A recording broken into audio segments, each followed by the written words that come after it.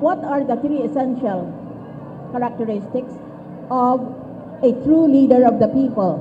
The person who should be our next president should be characterized by academic excellence. Dapat naman, ang pinakamarunong sa klase, hindi yung mga pinakagago. Pangalawa ay professional excellence.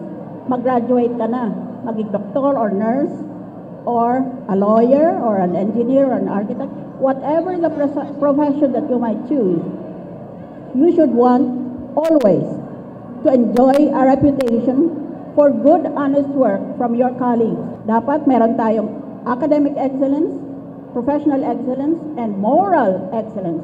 We should be able to live our jobs, our lives, in such a moral way that we can always face our Creator and tell Him, I did my best for your greater glory and the salvation of my soul. Hindi naman pwedeng lahat tayo leader. Basta, ang ating hangad, hindi na pinakamayaman tayo sa ating baryo, barangay, o sa ating lipunan.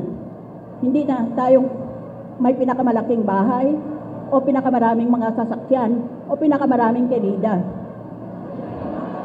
But most of all, the foremost requirement to change our society is to change ourselves.